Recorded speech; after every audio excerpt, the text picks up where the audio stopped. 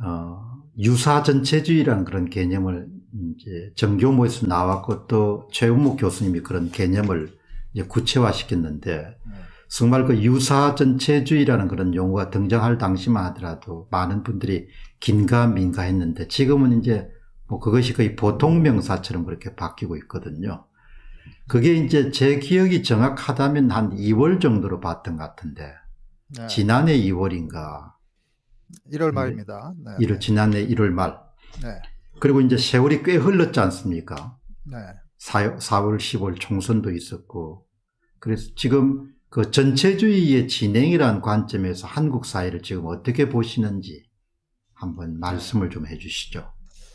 그 저희가 작년 1월 말에 공병호 TV에 출연했어요. 사실은 우리나라가 유사 전체주의화 되고 있다 그렇게 말씀을 드렸고 아, 정교모의 성명서도 1월 15일 경에 나왔고요. 그래서 그 제목도 유사 전체주의에 대해서 우리가 올바로 알고 투쟁해야 된다 그렇게 나왔습니다. 그래서 그 마침 또 공 박사님이 그거에 대해서 그때 또 질문해 주시고 그래서 우리 사회가 정말 유사 전체주의에 이미 진입했다 아, 그렇게 말씀드렸고 뭐 전체주의 형태가 전 세계적으로 많이 있습니다만은 우리나라의 좀 남북한 관계 이런 거를 활용해서 아, 전체주의가 아, 한국적인 맥락에서 좀 변형된 측면이 있고 음. 또 우리나라는 중국이라는 커다란 나라가 옆에 있으면서 중국몽적인 이제 시진핑의 노선이 거세게 불어닥치고 있는 상황에서 중국의 전체주의 영향을 받지 않을 수 없거든요. 네. 그런 측면이 영향을 받아서 어떤 뭐 과거에 뭐 2차 대전 당, 전후에 어떤 그 뭐 유럽이나 뭐 남미나 음. 지금 남미나 이런데 그 아, 막시즘을 위주로 한 그 전체주의 또는 우파적인 전체주의 스페인이나 뭐 이런 것과는 조금 변형을 겪었지만 결국에는 내용은 같습니다. 어떤 정치 권력이 아, 권력을 아, 굉장히 위헌적으로 음, 아, 강화하지만은 그거를 굉장히 개혁이라는 이름으로 합리화시키면서 음. 결국에는 권력기관이나 정부 전체를 정치 권력이 장악을 하고 심지어는 음. 사법부까지 그리고 그 단계를 지나서 결국은 시민 사회까지도 음. 일상적으로 권력이 이렇게 감시하고 통제하는 그런 사회가 이제 결국 전체주의의 완성 단계인데 그 동안엔 저는 평가하기를 아, 중간에 제가 또 한 번 광병호 TV에서 이제 출연해서 아, 사법부 장악이 이미 아, 완성이 됐고 그래서 우리나라는 예. 전체주의가 완성되는 단계로 가고 있다 그렇게 말씀을 드렸고요. 예. 지금은 지금은 공공 부분은 전체주의가 완성이 됐고 이제는 민간 부분으로 음. 진출을 해서 아까 말씀드린 아, 진짜로 전체주의가 정말로 완성이 되려면은 정부 부분뿐 아니고 아, 민간의 일상생활까지도 감시하면서 통제하는 예, 권력기관이요. 아, 그런 체제가 완성이 돼야 되는데 지금은 공공 부분은 이미 완성을 했고 사법부 장악이 끝났으니까 뭐 부정선거라든지 뭐 이런 저 선거 재개표, 재검표 이런 것들도 우리나라의 최고 법원이 사실 제대로 역할을 못 하고 있지 않습니까? 예. 아, 그 단계를 지나서 민간 부분에 대해서 이렇게 통제 체제를 암암리에 구축하는데 국민들은 잘 알듯 모르듯 하는데 그 효과가 설설 나타나기 시작하는 단계니까 공공 부분을 지나서 민간 부분까지 통제하는 전체주의의 정말 아, 완벽한 형태로 이렇게 급격히 진행하는 도중에 있다. 그렇게 말씀드리겠습니다. 예. 최 교수님이 그 이제 유사 전체주의라는 그런 개념을 제시할 때만 하더라도 뭐 보통 식자청들도 그런 데 대한 그런 인식이나 이런 부분이 상당히 이제 낮은 수준이었는데 지금 말씀 중에 너무 중요한 말씀을 하셨기 때문에 이 시청자들에게 한 번 더 그 전체주의 개념 지금 막 말씀하신 걸 강조하는 의미에서 조금 더 한 번 더 풀어서 이야기를 해주고 다음 주제로 넘어갑니다. 예. 전체주의는 아, 사실 공산주의나 뭐 아니면 우파 파쇼즘, 파시즘 우리가 어, 나치즘이나 뭐 아, 또 남미의 어떤 아, 어떤 사회를 전 근육주 권력이 완전히 장악한 형태라든지 뭐 그런 게 이제 전형적으로 우리가 알고 있는 전체주의죠. 그래서 예.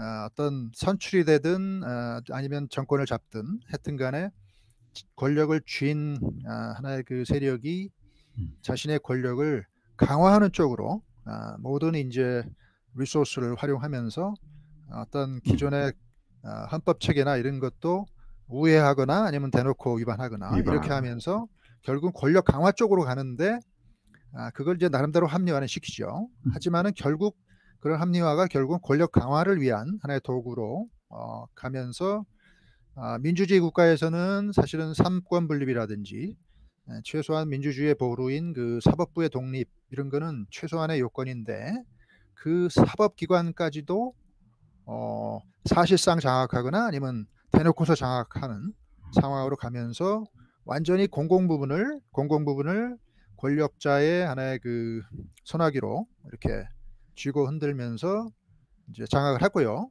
이제 그 단계를 지나서 아, 정말로 이제 아, 문화혁명식의 아, 단계를 거치면서 중국이 지금 아, 발전돼 왔듯이 아, 어떤 권력이 언론까지도 통제하고 민간 부분이죠. 민간부. 또 예. 시- 시민 사회도 뭐 여러 가지 감시 카메라라든지 아니면은 아, 지식인들에 대한 그 표현의 자유 이런 것도 여러 가지 수단을 동원해서 하여튼 억제하면서 권력에 대한 비판 기능까지 마비시키면서 시민 사회의 그 일상생활까지도 통제하는 에, 그렇게 되면은 정말 중국식 아, 전체주의가 완성된다. 아, 그렇게 볼 수 있고요. 우리나라는 공공 부분은 완전히 거의 자- 장악했다 보고요. 음. 네, 그 단계를 지나서 민간 부분까지 지금 장악하려고 시도하고 있는 단계인데 그 스텝을 아, 상당히 밟고 있습니다. 뭐 언론중재법이라든지 최근에 예. 그런 걸 통해서 상당히 언론기관에 대한 그 아, 겉으로는 뭐 허위 보도를 좀 줄인다 그러면서 실제로는 목표를 달성하려고 하는 건 사실 언론의 에,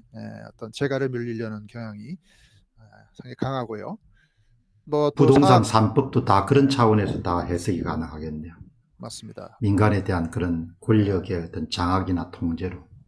그렇습니다. 그리고 뭐 사학 사학법이라든지 사학법이라든지. 개정해서 사학재단에 대한 통제권을 강화한다든지 아, 뭐 이런 것들이 다 또 뭐 주민자치법이라든지 아, 이런 거를 아, 제정해서 주민자치 기본법이죠. 그래서 어떤 주민 그 뭐 자치기구라는 걸 만든다고는 하지만 실제로 그게 아, 특정 성향을 지닌 또는 예. 사상적 배경을 지닌 사람들이 거기 이렇게 아, 임원 비슷하게 될 가능성이 많거든요. 지금 상황에서 그러면서 그걸 통해서 아, 감시 아닌 감시를 하고 어, 뭐 자치라고 그러면서 세포 조직을 좀 키운다 그럴까요? 아, 그렇게 되면은 이제 통제 시스템이 이렇게 풀뿌리까지 내려가는 거죠.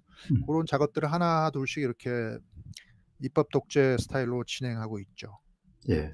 그게 전체주의로 가는 완성으로 가고 있다. 그렇게. 아무튼 이제 국회가 개원되고 400건 이상 정도의 그런 법안이 국회를 통과했는데 그 국회에 통과한 법안 가운데 80% 이상이 여당이 주도를 했으니까 지금까지 통상은 일당이 한 60%를 넘어선 적이 거의 없다고 하거든요.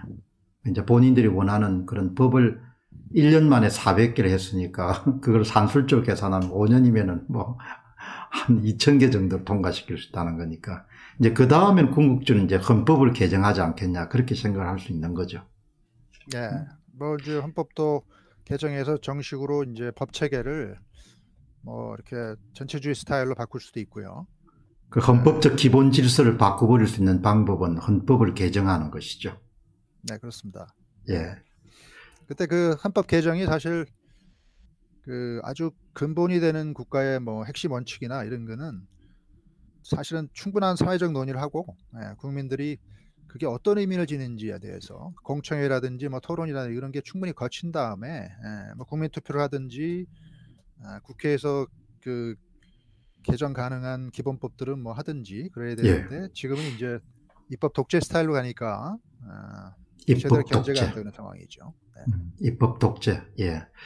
지금 말씀하신 내용에서 이제 아마 시청하시는 분들은 대부분 아 저게 큰 문제구나 이런 거를 아마 충분하게 이렇게 예상할 수 있지만 그러면 이제 우리가 1987년도 체제 이후에 자유가 항상 한국에서 확장되는 쪽으로 왔는데 이제 문재인 정부가 등장하고 나서 이제 자유가 퇴행되고 결국은 전체주의의 완성 그 이후까지 나가는 상태인데 그러면 이제 보통 시민들은 어떤 비용을 치르게 됩니까? 그래서 우리가 아, 사실은 아, 뭐 공공 부분만 뭐 이렇게 좌우 대결 또는 보수 진보 뭐 싸움하면서 그 정권이 바뀌고 뭐 이러면서 사실 부정선거도 어, 어떤 국회의원들의 자리를 놓고 어, 그게 뭐 몇 자리 180석이니 뭐 120석이니 뭐 그런 얘기기 때문에 사실은 아, 상당수의 국민들이 그걸 좀 심각하게 여기지 않은 분도 계시고요. 그래서 부정선거 얘기를 의심을 하지만 그렇게 시간을 내서 본인이 뭐 연구해보고 사실 그러지 않은 분들도 많은 것 같아요. 나하고는 좀 상관이 없는 일이 아닌가 없는 그런 이제 생각을 하고 계시는데 음. 그게 말씀드린 바대로 공공 부분을 장악하게 되면 예, 거기서 그치는 게 아니고 아, 또 오다 사법부를 장악하게 되면 어떤 그 국민의 권리 의무를 구제하는 아, 기능을 사법부가 갖고 있는데 아, 그거를 그 기능이 마비가 된다는 거. 마비가 되는 거죠. 예, 정치 권력이 이렇게 에, 여러 가지 불법적인 일이나 아니면 부당한 일을 하는데 그 피해가 결국은 경제에 미치고 국민 생활에 미칠 때 그걸 구제할 수 있는 기관이 정치 권력 그 자, 그걸 해서. 침해한 기관에 의해서 장악된다는 거예요. 장악되니까. 예. 예. 결국에는 그 피해는 국민들에게 돌아오는 거고요. 아, 또 뭐 감시 아, 체제를 이제 구축해서 아, 국민들의 어떤 그 아, 어떤 그 선택을 아, 기존 집권 세력을 계속 유지하는 쪽으로 유지하 저 이렇게 선거 뭐 성- 성향이나 이런 걸 좀 파악하면서 계속 의식화 작업을 하면서 기존의 권력을 계속 유지하려고 하는 예. 장, 장기 집권하려는 쪽으로 가기 때문에 그럼 이제 국민들의 자유가 침해당하고 어떤 이 표현의 자유가 침해당하고 어, 비판적인 얘기를 하면은 못하게 하고 어, 또 간접적인 뭐 네트워킹을 통해서 아, 이익을 아, 쉐어하는 그 예. 채널로부터 배제가 되기 때문에 우리 젊은이들은 어떤 뭐 사상이 안 맞거나 정치 권력에 좀 비판적인 그 견해를 하거나 건전한 비판을 하는데도 자기도 모르는 사이에 아, 일종의 그 기존 정치 권력의 블랙리스트에 오르게 되는 거예요. 예. 그럼 나중에 아, 뭐 시험을 쳐서 뭐 시- 들어가는 데는 들어가긴 들어가겠죠. 음. 하지만 이제 뭐 승진하거나 뭐 여러 가지 각종 무슨 위원회에 임명되거나 아, 뭐 그런 데 단계가 올 텐데 네, 그런 채널로부터 자연스럽게 배제가 당하는 거죠. 네, 그런 이제 부동산 상법 같은 것도 이제 결국은 개개인이 더 많이 약탈당하는 거지 않습니까? 네, 키워져. 맞습니다. 네. 뭐또 우리나라 이제 중국의 어떤 어, 중국몽과 어떤 미국과의 그 중국과의 패권 와중에 놓여 있기 때문에 이제 중국이 한반도의 영향력을 좀 확대해서 어, 미국과의 그 대결을 좀 유리하게 태평양으로 진출하는 교두보를 이제 확보하려고 하기 때문에 아, 한국 한반도를 이제 친중국화 시키려고 하는 의도를 분명히 갖고 있습니다. 음. 아, 그러면 이제 뭐 각종 부동산을 소유한다든지 정보를 이렇게 에, 감시한다든지 에, 친중 정권을 유지한다든지 뭐 이러면서 경제적 이권을 또 어, 넘겨받는다든지 뭐 이러면서 그 땅값이 오른다든지 에, 뭐 어떤 이권이 중국으로 가고 아, 그럼 우리나라 사람들이 사실은 한국 사람끼리 경쟁하는 게 아니고 중국 사람과도 이렇게 경쟁하는데 불공정 경쟁을 하는 거죠. 예. 벌써 아, 그런 좀- 문제가. 그런 이제 문제가 발생하게 됩니다. 뭐 궁극적으로 나라가 굉장히 어려워지는 상황까지 가면은 이제 뭐 취업 문제라든지 그런 문제들이 다 이제 엮여가지고 발생하는 거죠. 조금 전에 최은목 교수님 그 인터뷰하기 전에 우연하게 이제 그런 저 채널 A를 보는 보다가 이번에 이제 차량 시위, 자영업 하시는 차량 시위인데 한 젊은 분이 마이크를 대니 그런 이야기를 하더라고요. 뭐 앉아서 죽거나 뭐 그냥 가만히 있어 죽거나 그냥 나와서 말이라도 하고 죽어야겠다. 그렇게 그런 심경으로 나왔다고 그렇게 이야기를 하더라고요. 이번에 차량 시위 있지 않습니까? 네, 네. 그러니까 아마 자영업에 대한 그런 규제도 이 과학적으로 납득하기가 힘들지 않습니까? 왜 세 명은 안 되는지, 왜 두 명은 되는지, 뭐, 그런 부분들이. 그러니까, 그렇죠. 우리- 예, 네. 어떤 뭐 집회 시위를 이렇게 과도하게 규제를 하면서 아, 권력 비판 기능을 억제하다 보면 그 상권이 에, 피해를 당하는 거고요. 예, 어떤 건전한 그 경제 활동이 이제 과도하게 침해당하는 거죠. 아, 그래서 어떤 아, 정치적인 목적으로 규제를 가한다고 하지만 그 피해가 정치계에만 머무는 게 아니고 예. 어, 민간 부분에도 이제 발생을 하는 거고요. 뭐 일례로 우리 저희 학생들도요. 아, 사실 저는 로스쿨에 있기 때문에 법학을 이제 여러 과목을 듣는데 에, 뭐 이렇게 좀 정치적인 그 성향이 있는 아, 타이틀이 제목에 있는 과목이라든지 그런 걸 듣기를 꺼려해요. 어, 학생들이 뭐 이렇게 나중에 그 성적 저뭐그 표나 이런데 그 좀 그런 과목이 이렇게 들어가 있으면 뭐 노동법이라든지 인권법이라든지 예를 들면 아, 그러면 이제 그게 뭐 좌우 이렇게 왔다 갔다 하는 정권 하에서 그게 아, 이 학생이 어떤 성향을 지닌지 하나 참고 자료로 활용될 수도 있는 거거든요. 그럼 무슨 학회라는 게 여러 개 있는데 학생들도 거기에 자유롭게 가입해서 좀 균형된 시각을 가질 수 있는 거 아닙니까? 근데 그것도 예. 굉장히 요즘 학생들은 꺼려서 가입을 합니다. 아, 그게 전부 이제 민간인에게 미치는 피해죠. 어, 학생들도 그럴진데 뭐 직장인들은 아, 얼마나 그 특히 그 조금 윗, 윗자리로 올라가게 되면 심지어 민간 기업에 있는 분들도 아, 정치적인 생각까지도 임플리케이션도 생각하면서 미리미리 몸을 사리 사리는 뭐 그런 움직임도 보이리라고 봅니다. 보통 심각한 문제가 아니네요. 지금 이렇게 보니까.